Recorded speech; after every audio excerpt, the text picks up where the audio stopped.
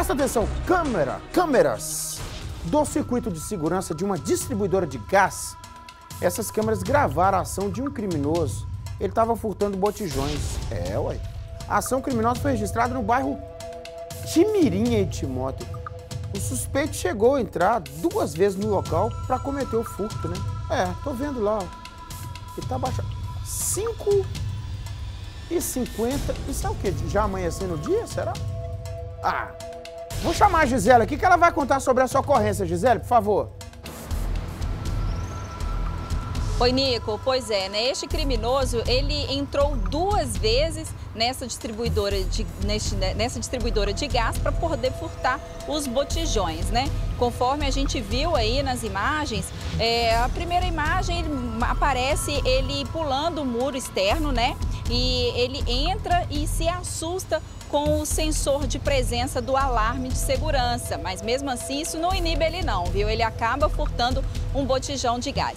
Depois, mais tarde, duas horas depois, ele viu que estava tudo tranquilo ali e acabou retornando. E aí, sorrateiramente, bem devagarzinho, ele entra, né, já quase amanhecendo o dia, ele entra neste local feito um gatinho. Ele entra bem sorrateiramente para não ser pego pelo sensor de presença novamente do local. E, de novo, ele furta mais um botijão de gás. Ô, Nico, e depois que ele furtou esses botijões de gás, ele pula, ele consegue pular um muro de aproximadamente 4 metros de altura. Ele joga os botijões e depois ele se joga também para fugir do local e deixou rastros ali pelo local, viu, Nico? Ele se machucou durante a fuga, mas olha só, nas imagens do circuito que mostram né, perfeitamente a dinâmica do criminoso ainda não são suficientes para que a polícia consiga localizá-lo. Há suspeitas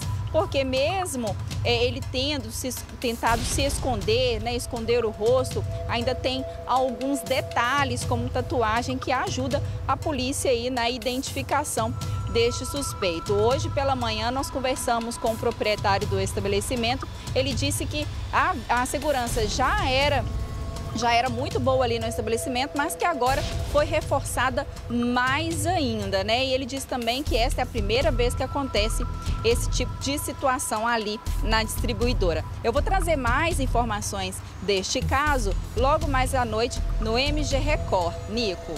Ah, eu sei, você vai trazer, o Solo vai mostrar aqui. Ô, Gisele, só não gostei de você falar que ele parece um gatinho, tá parecendo mais é um lobo. É, o gatinho, um bicho tão inofensivo, parecia um lobo. E, e, e ela, a Gisele, falou das características dele, que é tatuagem.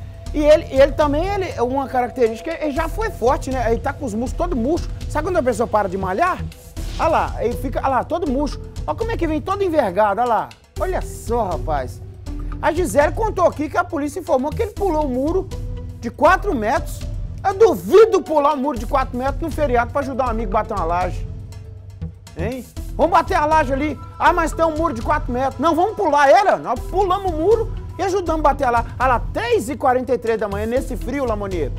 E o sujeito levando o botijão de gás, olha lá. Depois ele voltou, né? Gisele contou bem. Pulou, levou o botijão. Deve ter ido longe, né, Jarão? Ele andou um tempo. Aí, ó, esse é o... Olha lá, 3h43 ele falou, voltou. Aí colocou o botijão de gás no lugar, deve ter dado uma descansada. Olha lá, voltou já amanhecendo, ó. Olha ele, a Gisele falou que tá igual um gatinho, olha lá, olha lá como é que ele vai. Olha lá, olha lá, parecendo um lobo espia. Olha lá, ele vem todo envergado. Olha só, Jarão, é para correr do sensor, né? Porque o sensor detecta a presença e aciona, né? Aí o, o, o proprietário da distribuidora vai ter que colocar o sensor beirando o chão. É, é, impressionante, é impressionante. A Gisele já chamou aqui, ela vai logo mais vai trazer essa reportagem contando esse caso, o desfecho disso no MG Record Consolo Bernardo. Obrigado, Gisele Ferreira. É, a gente fica comentando aqui, mas vou te contar um negócio, não é brincadeira, não.